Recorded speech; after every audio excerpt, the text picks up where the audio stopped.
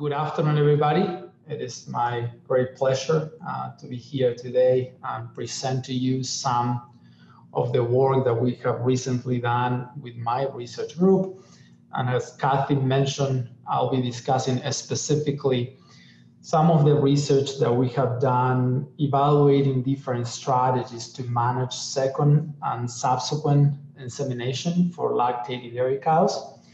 Uh, we do have some research, of course, for first service, and, and uh, if anybody's interested, I would be happy to discuss, but the interest of time, I'll just focus on second and subsequent services, which is, of course, a very critical component of the reproductive management program of any dairy farm.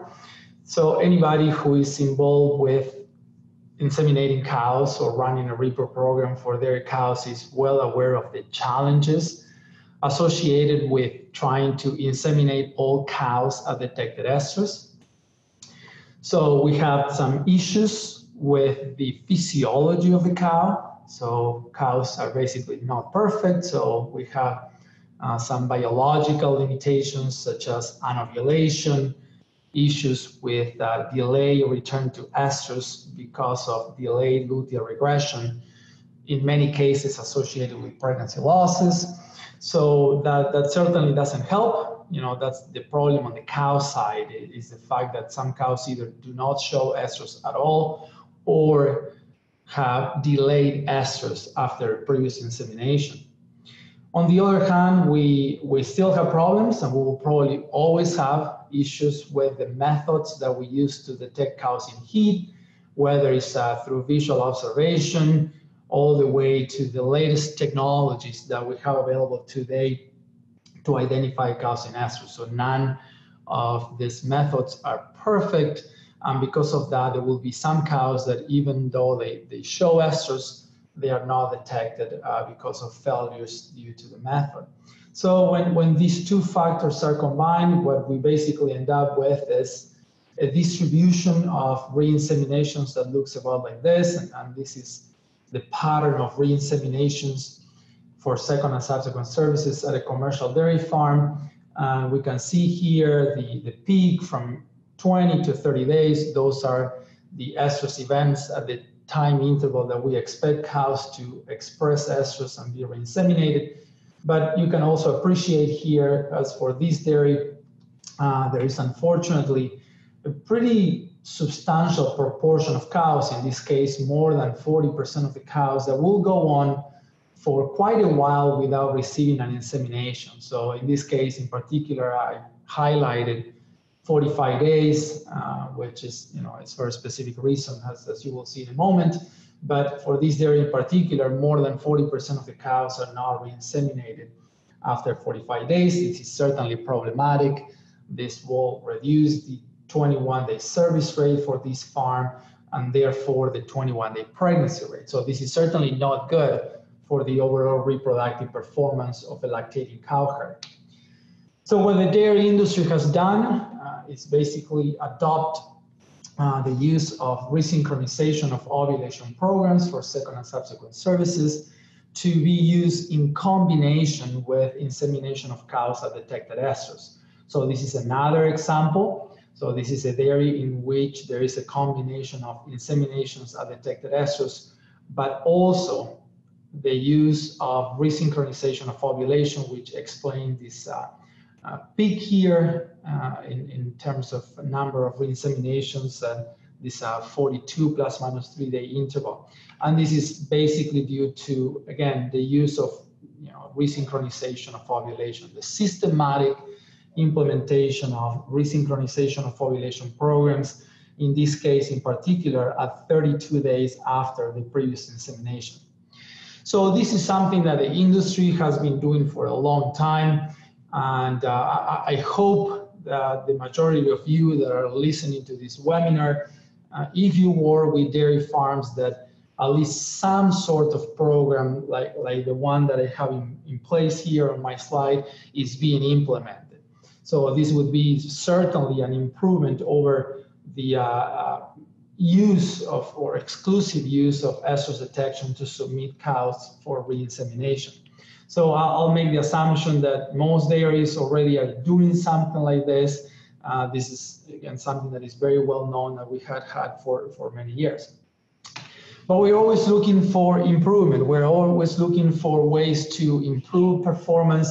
And at the time of improving the reproductive performance of cows managed for second and subsequent services, uh, there are two critical aspects that lead to success.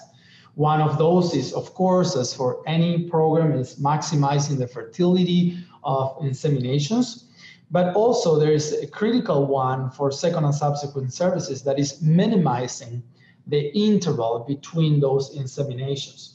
So any, any ideal program that, that we try to design to manage second and subsequent services uh, will have to take into account these two factors.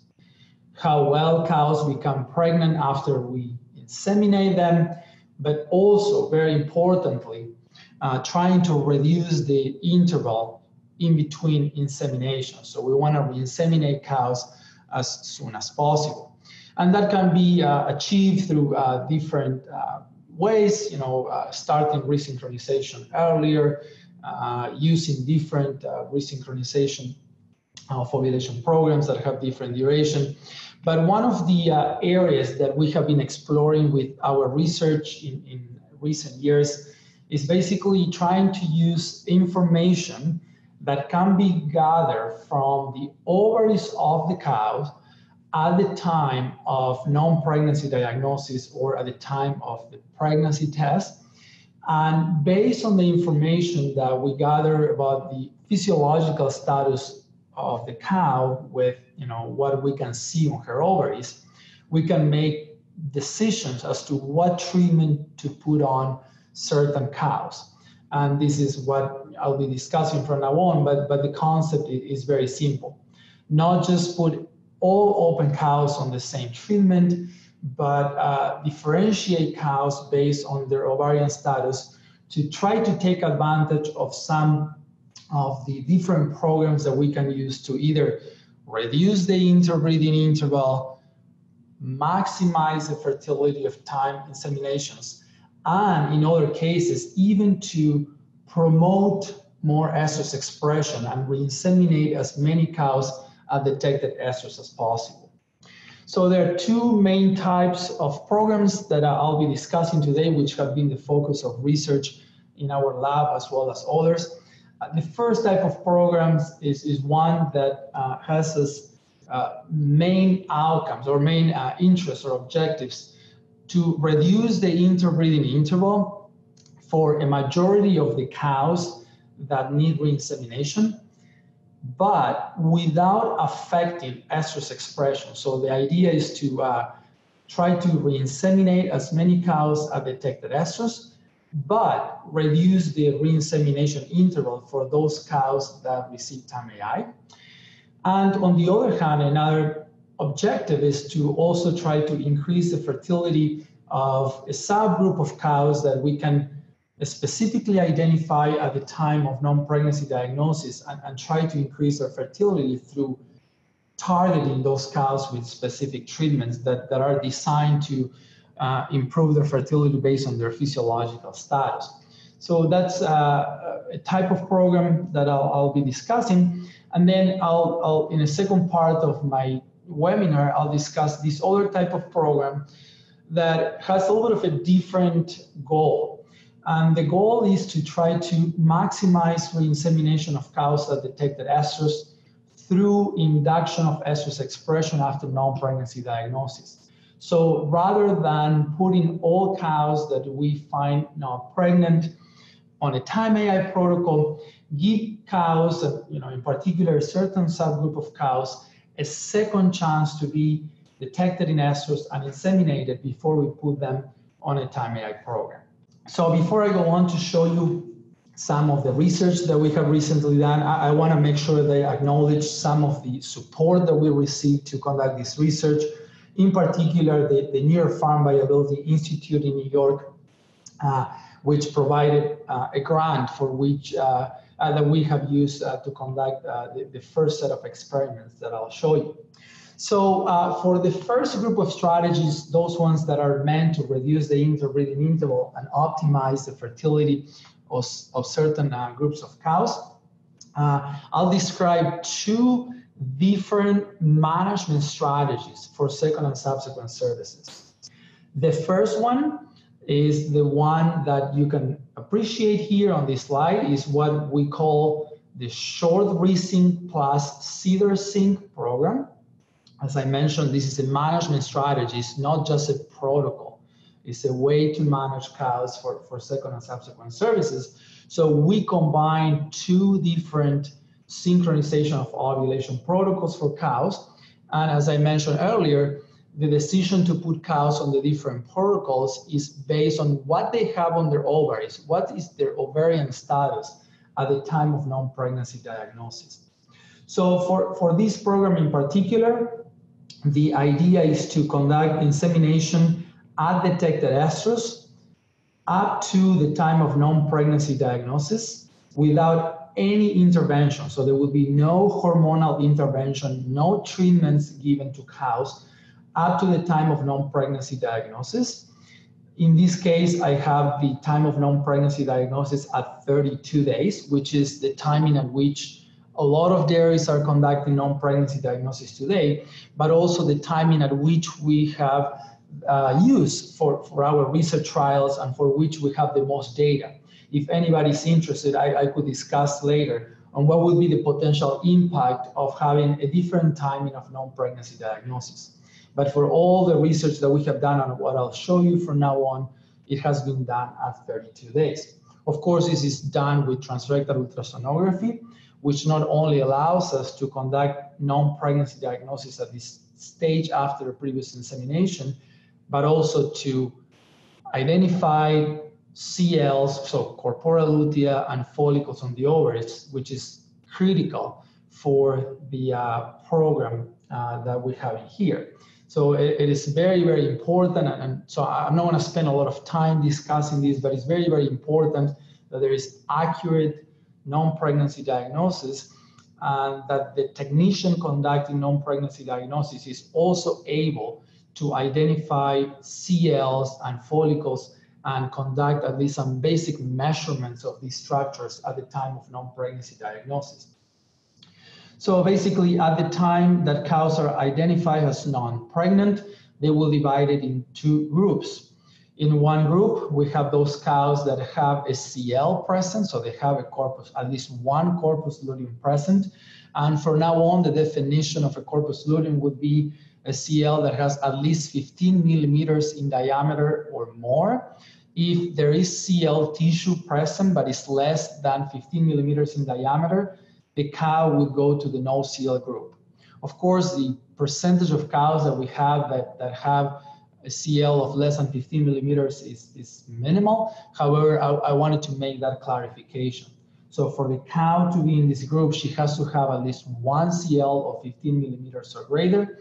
And she also needs to have a follicle of 10 millimeters or greater. This is uh, important. This is how we have always done this in our experiments and how we know that it works. The only reason why I simplify this and only mention the CL is because more than 95 to 97% of the cows that do have a CL of 15 millimeters or greater at this time point will also have a follicle of 10 millimeters or larger. However, if there is any cow, that very small percentage of cows that do not have a follicle of 10 millimeters or greater, those cows should also be assigned to the no-CL group. So once that the uh, uh, cow uh, has been exa ex examined and, and, we, we have certainty of the presence of the CL and the follicle, then the cow will go on into what we um, call the short breathing protocol. This is a you know very simple. It's like the end of the Ovsynch protocol. So after the prostaglandin treatment, what you will notice is that we do have two prostaglandin treatments 24 hours apart. And there are specific reasons for this, in particular, you know, trying to improve luteal regression, which is critical for this program. So two prostaglandins 14 days apart, then GnRH 32 hours after the second prostaglandin or 56 hours after the first one. So, you know, from a practical perspective, again, this is the same that we do for uh, uh, programs like Ovsynch with two prostaglandins or uh, a double Ovsynch with two prostaglandins or a pre-sync Ovsynch with two prostaglandins. So nothing changes, still same timing from the first prostaglandin to the GnRH, and then the same timing until insemination. So the reason why we call this a short protocol is because it's three days from non-pregnancy diagnosis to re-insemination. So we also expect that the majority of the cows will go on uh, to uh, receive this protocol. In our research, about 70 to 75% of the cows go into this route. So we are reducing the interbreeding interval. It's a 35 day interbreeding interval for a pretty significant percentage of the cows. However, we, we also have these type of cows. So we have those ones that do not have a CL or do not have the follicle that we need for them to properly respond to this protocol. And we know that if those cows are put on, on the short resync protocol, they wouldn't do pretty well. So we divert these cows into a, a different protocol, in this case, the CIDR protocol with two prostaglandin treatments. I'll go on to show the, the protocol in more detail in a moment. But the concept here is that we have this subgroup of cows that they wouldn't do very well in the short resync protocol. We also would expect that they don't do as well in a typical Ovsynch protocol without progesterone supplementation and a single prostaglandin, and I'll show data for that. So that is why we put them on this protocol. Remember, we're trying to optimize the fertility of these cows. So uh, that's that's the protocol uh, or the program. So treatment for cows with CLs, a treatment for cows without a CL. So in more detail, the, the program, the, the CIDR program or as I will call you, I'll call it later to a progesterone Ovsynch program with two prostaglandin treatments is what we like to use for no CL cows. Here you have the protocol. It's, it's nothing else than an Ovsynch protocol with two prostaglandin treatments 24 hours apart and the inclusion of a progesterone releasing device. In, in this case, I say CIDR because it's the only product that is commercially available for uh, dairy farms in the US but any other progesterone releasing device that releases the same amount of progesterone would, would also work.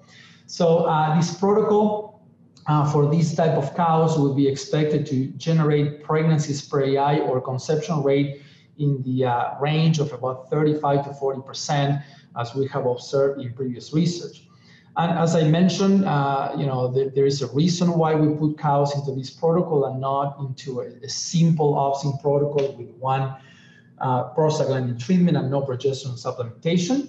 And that is because the fertility of cows without a CL at this time point that go through a straight Ovsynch protocol with, with one prostaglandin is not going to be optimal. Of course, it's, it's not very low, but we know that it's not going to be optimal. And here you have some data from, from a research trial that we conducted to compare uh, the Ovsynch protocol with a single prostaglandin and no progesterone supplementation versus the CIDR Sync protocol with the two prostaglandin, exactly what you see on this slide.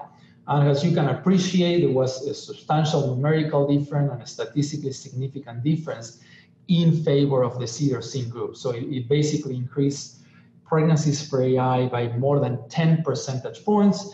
And that is the main reason why we suggest that no CL cows receive this protocol. However, there are some dairies that either prefer not to or cannot use uh, a protocol with a progesterone, intravaginal progesterone releasing device. For those dairies, there, there is a way to uh, get around the, the problem of not being able to use this protocol and still optimize or increase the fertility of cows without a CL. So here you have the protocol is what we usually call the pre-G Ovsynch protocol. Some uh, other people also refer to this as the GGP protocol. And as you can appreciate as well here is with two prostaglandin treatments. So uh, the idea here is to, uh, again, avoid the use of the progesterone releasing device. And the way to um, uh, get around that is by treating cows with GnRH. So this would be the timing of non-pregnancy diagnosis. So cows receive a GnRH treatment and they start the Ovsynch protocol with two prostaglandin treatments 24 hours apart and no progesterone supplementation seven days after the first GnRH or the time of non-pregnancy diagnosis. In terms of the expectation for pregnancy per AI, uh, based on the research that we have done in commercial dairy farms, I can say that it's going to be very similar to that of the CIDR Sync protocol. So it's going to be in the range of 35 to 40% pregnancies per AI. So this is a pretty effective protocol. Uh, the benefit is, again, the fact that we uh, can avoid the use of an intravaginal progesterone releasing device. The main drawback of this protocol is the fact that the interval until reinsemination is going to be longer. So it's 17 days from beginning to end as compared to 10 days for the CIDR protocol. As I mentioned earlier in my presentation, one critical aspect of resynchronization of ovulation programs is the interbreeding interval. So unfortunately, uh, this protocol will extend the interbreeding interval as compared to a CIDR Sync protocol.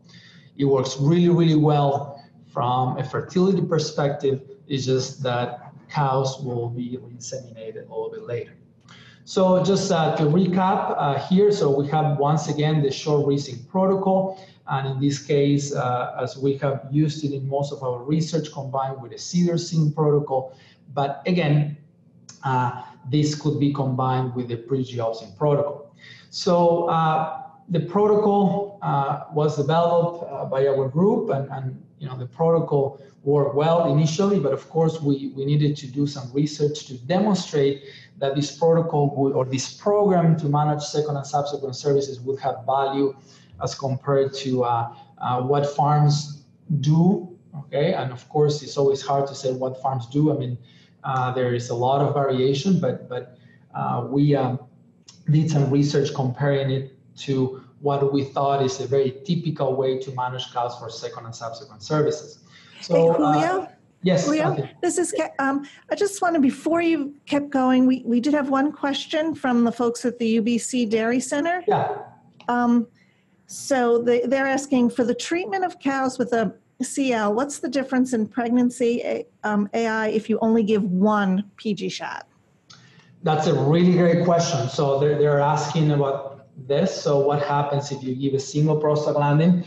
And unfortunately, I don't have the answer and I don't have the answer because we have never done that. And the reason is because we we think we speculate that uh, that second prostaglandin is, is likely necessary because um, and I don't want to get too much into uh, complicated physiology here, but we have done a lot of physiological uh, work behind this. You know, evaluated the ovarian function of a lot of cows before we developed this program. And what, what could happen is that because we are not giving GnRH a week before uh, the timing of non-pregnancy diagnosis, as we'll, you will see that we do with another program. So there may be cows that ovulate really close to the time of non-pregnancy diagnosis, and therefore they will have a, a relatively young CL present on day 32. And then it may be problematic to regress those young CLs with a single prostaglandin. So that's why we always went with the two prostaglandins. We do know that there are some cows that ovulate really close to the time of non-pregnancy diagnosis. So uh, we, we haven't had the chance to compare one versus two, so I don't have data, but I would say that it's probably necessary. So I don't know, I, I hope this answers the question. Uh, if not, please uh, let us know in the chat box and I'll get back to it. But it's a really good question and something that we still need to, uh, to explore. So uh, going back again to the research that we done, so we wanted to compare the, the short resync program, and we did that, uh, you know, comparing it to a typical day 32 resync protocol. So starting the Ovsynch protocol with a single prostaglandin treatment 32 days after previous insemination. Again, this is what we, we thought it was typical that many dairy farms use and what we use as our control group. Uh, I don't want to spend a whole lot of time here, but just you know, for you to know what are the results uh, for this, what were the results for this experiment as far as pregnancies per AI, and here we differentiate cows in, in the different groups and cows overall. One thing that I'll mention, so these are CL cows. There was no significant difference between cows that had a CL at the beginning of the OVSYNCH protocol or CL cows in the short resync program. So there was no difference there. And uh, one thing that I want to note that I'll come back to later is that the, the fertility of re-inseminations with the short resync protocol is not going to be ideal uh, for, for reasons that I'll discuss later, but, but that's important to keep in mind. And then as, as I showed you before too, and this is actually the data uh, that I showed you before for no CL cows, uh, the CIDR-SYNC protocol did improve the fertility of these no CL cows. And then overall pregnancy per AI, when putting all together, uh, CL cows and no CL cows was not different. But uh, th this is, of course, interesting. This is uh, important to know what is the expected pregnancy per AI. But of course, the most critical data is uh, the uh, timing of pregnancy or the pregnancy rate. And this is what we have in here is basically, uh, these are the survival curves for time to pregnancy during 210 days after the first service. So we compare cows in the two management strategies, short resync in green, and day 32 resync in blue for uh, about uh, uh, seven months after the first insemination, trying to see what is the impact over almost the entire lactation after the first service. And uh, what we observed was that indeed the, the short resync program uh, increased the pregnancy rate in a way, it reduced time to pregnancy uh, by 11 days on average. So you can see that the green line goes down faster. So for those of you that are familiar with survival curves, so you, you notice that uh, this program in green is getting cows pregnant faster. So, and you know, the, the hazard ratio for time to pregnancy was significant. So that's an indication uh, that there were um, uh, differences between the groups. Again, an 11 day difference on average. And also very important, there was almost a seven percentage point difference in percentage of uh, pregnant cows at the end of the observation period. So cows not only became pregnant faster with the short resync strategy, but also more cows were pregnant at the end of lactation or the end of the at-risk period for, for this experiment. So those were the two benefits for this um, uh, for this program. So in conclusion, I mean, what, what we can say is that at least compared to a typical program with day 32 resync to resynchronize cows for uh, second and subsequent services, the management strategy, including short resync and CIDR-SYNC, would uh, you know, reduce time to pregnancy and lead to a greater percentage of pregnant cows at the end of lactation. So that's pretty good, that's pretty exciting, and means that this program may be able to improve the uh, fertility, uh, not the fertility, but the overall reproductive performance of dairy herds. I see uh, some activity in the chat box, Kathy. I mean, I don't know if there, if there are questions probably that they should. Yes, there is. So um, John Muncie asks, was there any difference between primiparous and multiparous cows? Uh, that's a good question, and, and uh, no. So th there were no differences uh, between uh, primiparous and multiparous cows. So that's also important in a way. Uh, the fact that it, it, seemed to work for both groups of cows. So that, that's a great question. Thanks. Any other question, Kathy?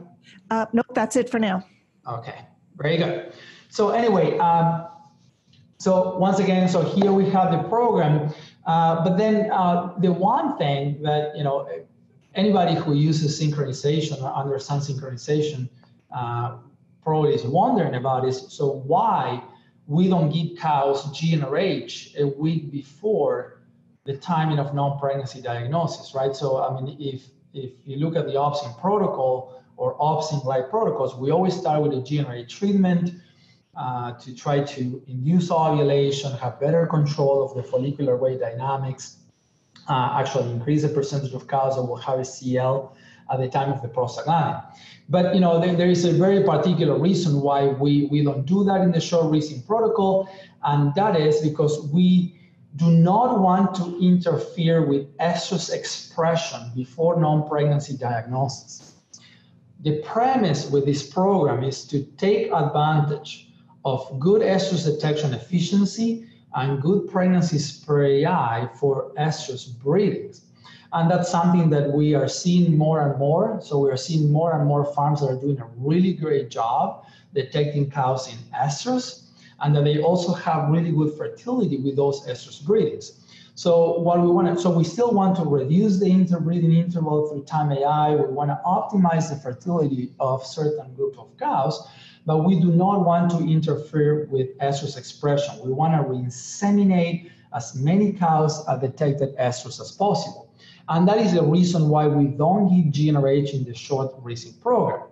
However, we, we still have the question, I mean, if you were to give GnRH, what would be the consequences? So what would be the true uh, you know, reduction in estrus expression when you give GnRH? And also, what would be the consequences on pregnancies per AI for the cows that receive time AI? You know, one would expect that by giving GnRH, cows will be better synchronized and therefore have improved pregnancies per AI. So that has been the, the subject of some of the research that we have done. Uh, but before that, I'm, I'm, I'm, going to show you here conceptually what I'm talking about. And it's basically giving this GnRH treatment here at 25 plus minus three days after uh, the previous insemination or seven days after uh, before non-pregnancy diagnosis. So this is what I'm talking about. It's either giving or not giving this GnRH treatment and seeing what are the consequences. And our hypothesis was that this would affect the percentage of cows inseminated at detected estrus, but also the fertility of cows that receive time AI, in particular the subgroup of cows with CLs. Is there a question, Kathy? Actually, I should probably try Nope. to- No, there chat isn't, box. Julio. We're all set. I can see the chat box myself. Okay, I just You realized. answered what we had. Okay. All right. Very good. Excellent. So um, basically, that that was the uh, subject of uh, of uh, a research experiment that we did, and in fact, this is the uh, the trial that was uh, funded through our grant from the New Farm Viability. So uh, basically, we, we had a very simple question. So what what are the consequences of giving or not giving this gene GnRH? So the, the study was very simple. So we either gave or did not give gene GnRH on day 25 after day 25, management was exactly the same. And we were, of course, interested on percentage of cows detected in estrus and, and PAI, but also very importantly, and this is what I want you to uh, keep in the back of your mind. I mean, so what, what was the effect, again, on time to pregnancy and overall reproductive performance? So anyway, uh, to the first question, what, what was the impact on percentage of cows inseminated at detected estrus before non-pregnancy diagnosis? So it was 50% when giving GnRH and 60% when not giving GnRH. There was a statistically significant difference. However, from you know from a practical perspective, I mean, it's not as large of a difference as, as we expected, and uh, you will be able to see the consequences later. But the, the first message here is yes, there will be a difference. We will inseminate more cows at detected estrus with the short resync program, However, we can still inseminate quite a few cows, about half of the cows have detected estrus, even if we give GnRH. So the, the suppression, uh, the estrus suppression is not as dramatic when giving GnRH.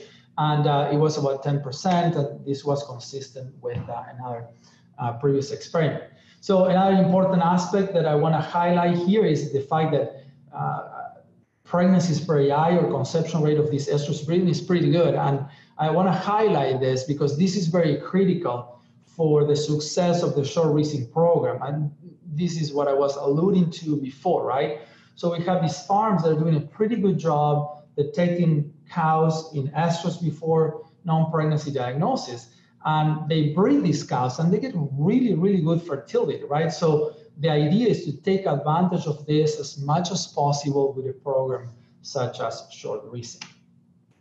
But then uh, we, we looked at the pregnancies per AI for cows that receive time AI. And first, another important uh, aspect of this, another uh, consequence of giving the GnRH on day 25 is going to be having more cows that have a CL present at the time of non-pregnancy diagnosis. So this is what you can see here. Again, it's also not a dramatic difference, but uh, it was uh, significant in our study. So about 84% of the cows did have a CL at the time of non-pregnancy diagnosis, and therefore they would go through the short part of the program and be re-inseminated three days later. Uh, as you will see here too, they will have pretty decent fertility, whereas it was 77% for uh, the short resync program.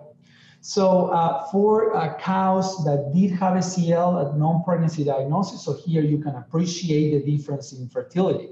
And you know, as you would expect, I mean, we, you don't have to be a rocket scientist again. I mean, to uh, hypothesize this that cows that receive GnRH will have better fertility, and in this, this is what we observe. This is the second study where we observe the same. So there is this difference in favor of the cows that get GnRH. So pregnancy spray is going to be anywhere from 8 to 10 percentage points greater for the cows that receive GnRH. Hold on, I mean, don't think that this is a disaster for short resync. It doesn't mean that the program is a failure, right? Uh, what, you know, pregnancy spray or conception is just one piece of the puzzle, right? Just one component of the program. And certainly critical, as I'll discuss later, uh, but um, uh, it is still, you know, the, the pregnancy period that we get here is reasonable. Then for no CL cows, uh, there was no significant difference. What I would like to point out here is the really nice fertility that we get. Again, this is the CIDR program with two prostaglandins. And then when putting all the uh, re-inseminations with Time AI together, there's of course uh, PAI for uh, this uh, day 25 resync program, the one that included GnRH more than anything because the majority of the cows had a CL and they had greater fertility than cows in the no-CL group. So again, so the message here is uh, there will be more cows that will have a CL when they get GnRH. Those cows that have a CL will have better fertility than uh, the cows that don't get GnRH. And then for the no-CL cows, fertility is expected to, to be the same. So overall, the PAI, the pregnancy PAI for the groups that receives GnRH will be better.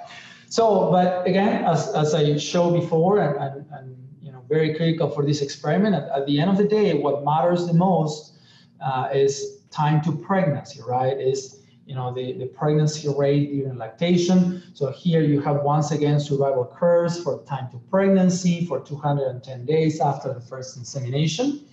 And what uh, you, you you're looking at here is two curves that are not different. So basically they overlap so there was no statistically significant difference and no significant, no difference of practical value in time to pregnancy between the two programs.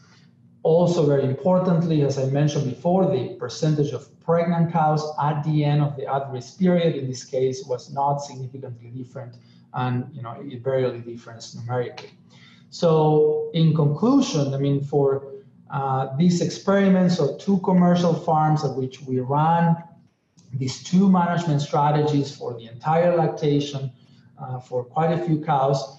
So in spite of differences in percentage of cows inseminated at detected estrus, differences in pregnancy per AI for cows that have CL um, for, for the two programs, time to pregnancy or the pregnancy rate was the same and there was no difference in the percentage of pregnant cows at the end of lactation. So the take-home message is these two programs work well and they work similarly uh, if applied under similar conditions than those of our experiment. So uh, to conclude with this part, so I'll, I'll just make a few comments about the two programs that I presented, right? So the short racing program plus CIDR Sync, or like I have it here, progesterone Ovsynch. So I, I, think that this is a program that can be implemented successfully in dairy farms. So among the benefits of the program is once again the fact that we are not interfering with estrus expression and we can take advantage of cows that are detected in estrus before non-pregnancy diagnosis and have good fertility. So we are betting on this. We, we are uh, putting our money here and, and expecting that we're going to generate a lot of pregnancies through detection of estrus. So we are also reducing the interbreeding interval for a pretty substantial proportion of cows, about 70 to 75% of the cows, again, will have a CL and will go this route and be re-inseminated at 35 days. And we are also increasing the fertility of no-CL cows, which is a group of cows that we know that they would have reduced fertility if they go through a regular Ovsynch protocol. So, you know, these are all the benefits of the program. However, as I mentioned, the PAI or fertility of these CL cows is not going to be the highest possible. So that's one thing to keep in mind. And this may be a little bit of an issue for some dairies. I mean, if their mindset is that it's all about getting the highest conception rate, it may be hard to deal with the fact that it's not going to be the very best with this program. But once again, I remind you that what matters the most is you know time to pregnancy, right? And of course, uh, economics and so on. The other thing that I have to mention here is the fact that we're not giving GnRH on day 25 means that we're not giving GnRH to pregnant cows, uh, which basically means that uh, dairies will, will, not be giving these GnRH treatments to cows that do not need the treatment. Uh, this may be relevant for, from a labor and a cost perspective, as well as not interfering with, with cows, I mean, not intervening, right? So it's another aspect that is a problem for the program, including GnRH, as I'll mention in a moment. So, uh, so uh, just to conclude, so this is, you know, uh, what I, I, usually say is that, you know, this is a strategy that is preferred for farms that are successful with estrus breeding. So farms that struggle with estrus detection probably should not consider this type of strategy as they will not benefit as much. In that case, I mean, for farms that do struggle with estrus detection and are not as good at detecting cows in estrus before non-pregnancy diagnosis, I think that giving the GnRH on day 25 would, would, be a good idea. So in this case, we, we are not banking so much on estrus breedings, but rather on time AI services. So we want to optimize the fertility of time AI services and the percentage of cows that get time AI. So by giving this GnRH, we're going to have more cows that get time AI, more cows are going to have a CL, and we know that the fertility of those cows with a CL is really, really good. So this is a pretty good strategy. So we're still reducing the interbreeding interval in a very substantial proportion of the cows. We are improving the fertility of the subgroup of cows without a CL. So the drawback of this one is going to be from a practical perspective. Again, the fact that we are giving GnRH on day 25, we do not know the pregnancy status of cows, so all pregnant cows will receive GnRH treatment. They don't need that treatment. They don't benefit most likely from that treatment. So that's going to be extra labor and extra cow manipulation that uh, at least larger dairies or dairies that do not have as much labor available are trying to avoid. Okay. So anyway, so that's uh, uh, again the the other strategy and, and one that works really really well you know, I think that, that the decision to go with one versus the other, and both are really effective, is once again how good the farm is at detecting cows in estrus. So uh, this is the end of this part. I don't know uh, if the audience has any questions. I would be very happy to answer them. If not, I'll move on to, to the second part.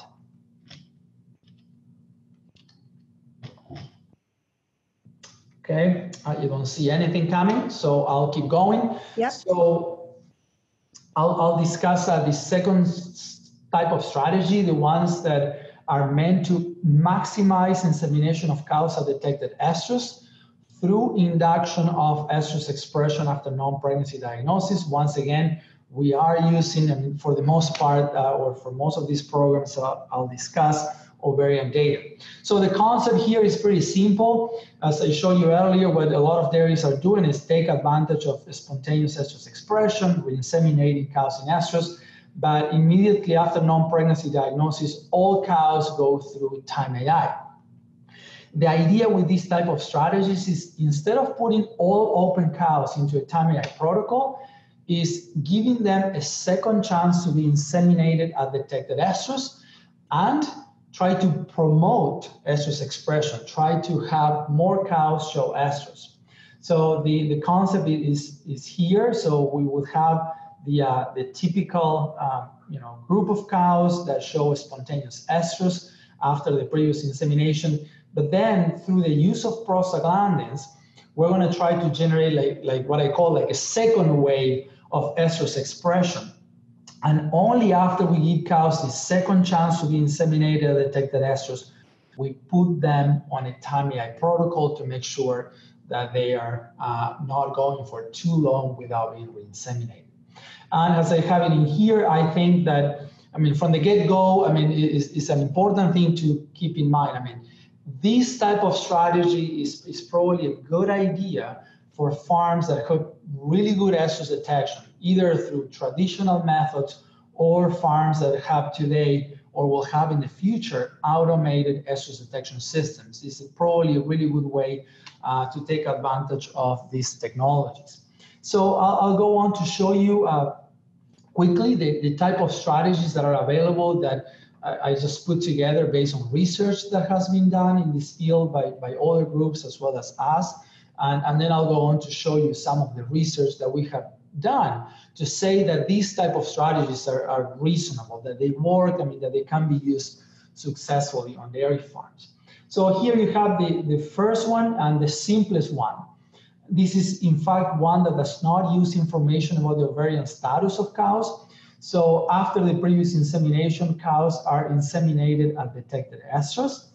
And at the time of non-pregnancy diagnosis, all cows regardless of whether or not they have a CL on their ovaries, they receive a prostaglandin treatment, again, with the idea of promoting estrus expression, inseminating a few more cows, or actually as many cows as possible, at detected estrus, and only after this second period of estrus detection, cows go on into the synchronization of ovulation protocol. You can see here that I don't have a specific protocol. I would say any protocol that ensures uh, you know, insemination and the, the greatest fertility of those inseminations through TIME-AI. Uh, here, I mean, this could be an Ovsynch protocol, or if, you know, it's not a problem to check ovaries of cows again at this time point, maybe CL cows get Ovsynch, no CL cows get a, a CIDR protocol or a protocol with pre-synchronization with GnRH. That's something that we can discuss uh, if um, uh, if the audience is interested. But you know, I just keep it generic just to say what matters is that the cow goes straight into a TIME-AI protocol after she had this second opportunity to inseminate at detected estrus. And very quickly, a comment about this. So you can see that I have here a period of 32 or 39 days after the previous insemination to conduct non-pregnancy diagnosis and give the prostaglandin treatment. So basically, um, uh, the way that I think about this is farms that have relatively lower estrus detection efficiency. I, I don't want to overextend this period of time. I'd rather stay in the short end. So I will probably do it at 32 days.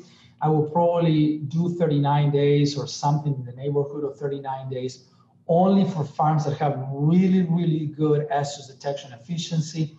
And therefore, they're going to re-inseminate a lot of cows that detected estrus and they are less dependent on what we do after non-pregnancy diagnosis. And uh, I, I, give this example, or I, you know, I give this option, probably thinking of uh, not a lot of dairies in, in our conditions here in the Northeast and, and the Midwest, where cows are in concrete flooring and they, they, they struggle with more to express estrus.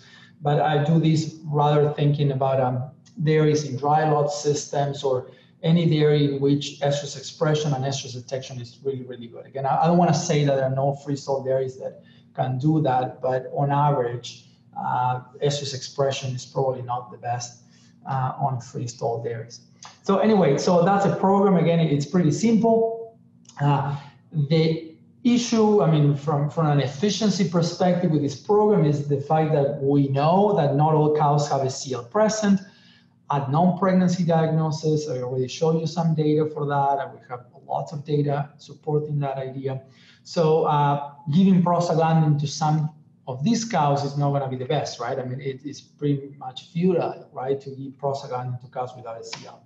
So the alternative to that, and to make this program more uh, efficient in a way, is to once again differentiate cows based on the presence of a CL at the time of non-pregnancy diagnosis so only cows that have a CL present receive prostaglandin.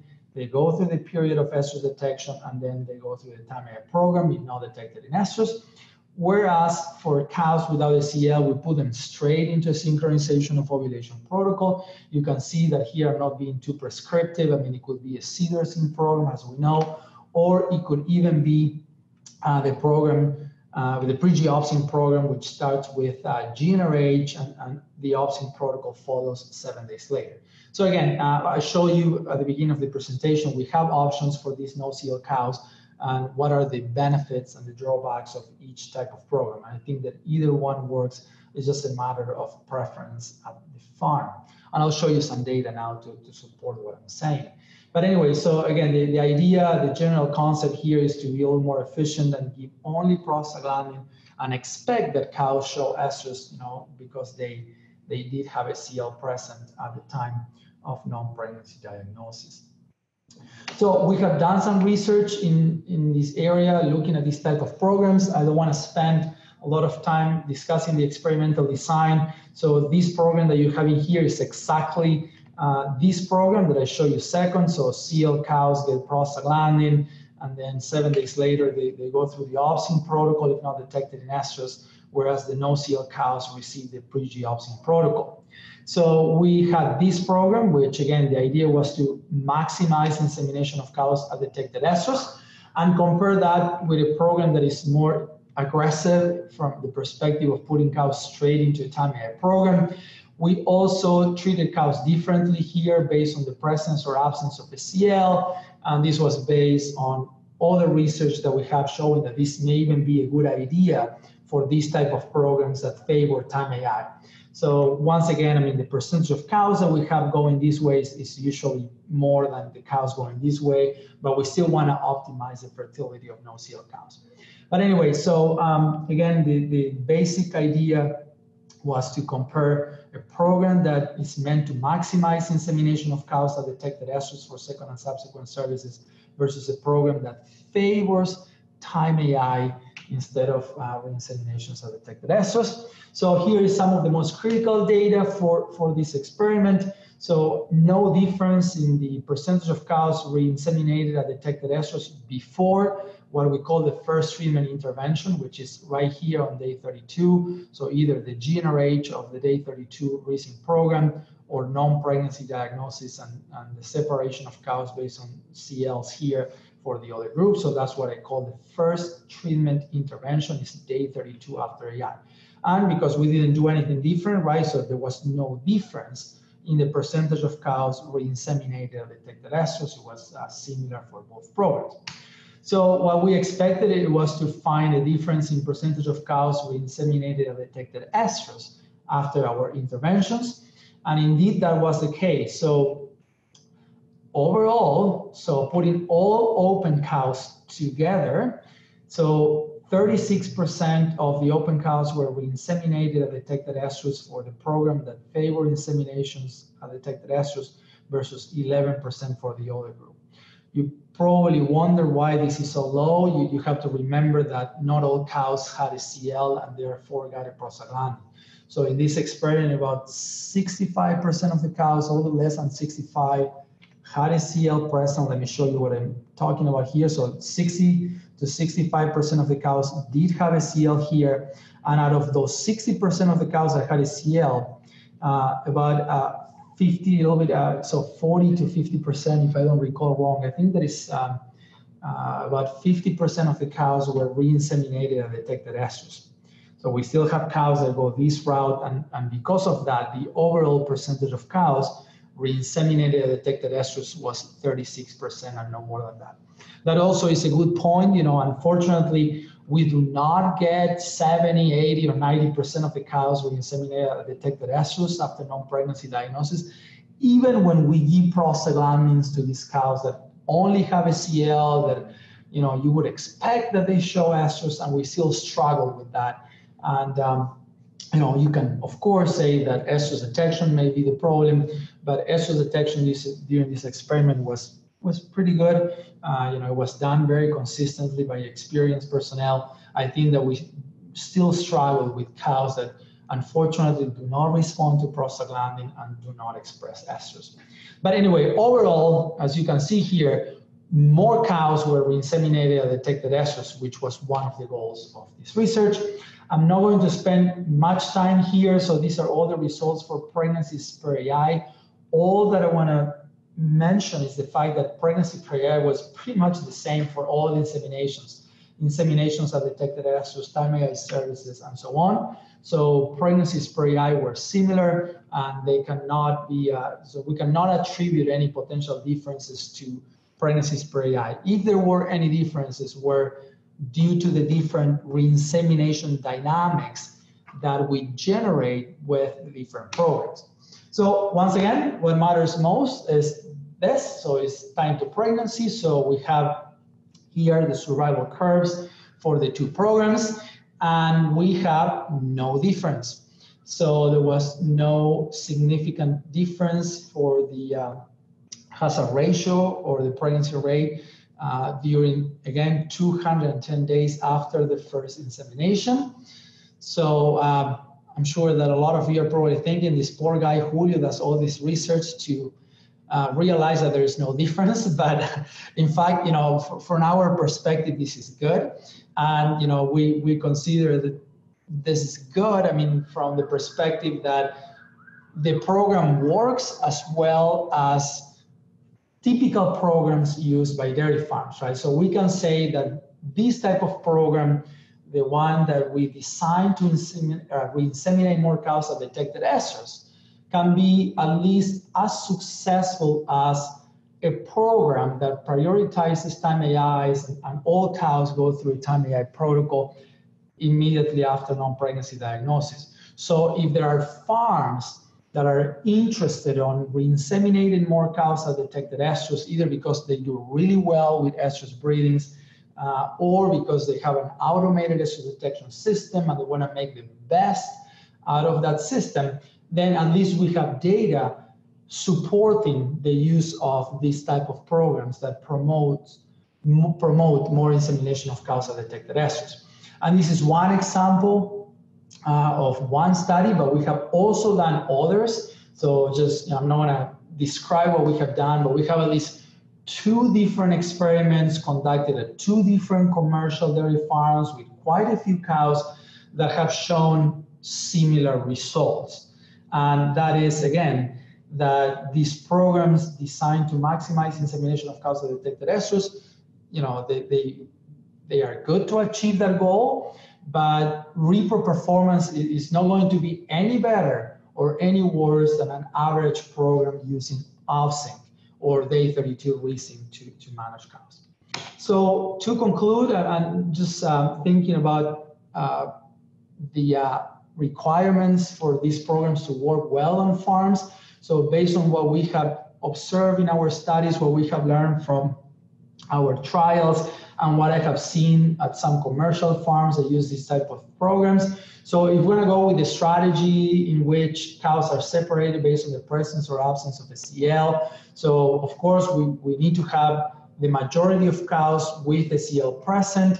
So according to our research, having at least 65% of the cows, it, it's ideal. So of course we would like to have more. Uh, but you know, most dairies are going to be in the range of 65 to 75% of the cows with a CL present that can get prostaglandin and therefore, you know, be promoted to show estrus. Absolutely critical for the success of this program and even what makes it worth, I mean, even considering this type of strategy is the percentage of cows that are detected in estrus after the intervention, right? I mean, so we, we need to try to re-inseminate as many cows as possible that detected estrus after the prostaglandin treatment. So it seems that the, the, the, minimum necessary for these programs to be the same as a typical uh, program uh, with day 32 resync is about 40%. Of course, it would be fantastic to have, as I said, more. I mean, 60, 70% of the cows were inseminated uh, detected estrus after the prostaglandin. Unfortunately, in the two studies that we have done, we have not seen more than 50%. Under our conditions, you know, it is possible that some dairies can achieve more than that, and, and I think that that would be really good. Uh, of course, I don't have it in here, but the pregnancy per AI of those insemination is also critical. So keep that in mind. I mean, we, we want to re-inseminate these cows in estrus, but we want to make sure that pregnancy per is pretty good. And last but not least, uh, is absolutely critical to systematically enroll cows that have not been re-inseminated at detected estrus in a time AI protocol so that those cows are re-inseminated as soon as possible. We have already given these cows two chances to be re-inseminated at detected estrus. It's probably not wise to keep trying and trying, like checking them again two weeks later and treat, try to give them prostaglandin again uh, is probably not the best. Or at least I have to say that in all our research trials in which we have shown that these programs work, work I mean, we have done it putting cows on a time AI protocol. So uh, I cannot venture into saying that these programs would work as well if there's no time AI for cows that are not re-inseminated at detected estrus. So uh, we made it to the end. Thanks a lot for, for your attention. I really appreciate uh, your participation. And uh, I want to make sure that I acknowledge everybody and, and all the institutions that make my research possible. Of course, uh, my team, both graduate as well as undergraduate students and technicians, they are the ones doing the real work. And then uh, the funding agencies, USDA, New Farm Viability, companies that support our research through collaborations or providing support, and of course the commercial farms that allows us to, to do our research on, on their farms and with their cows.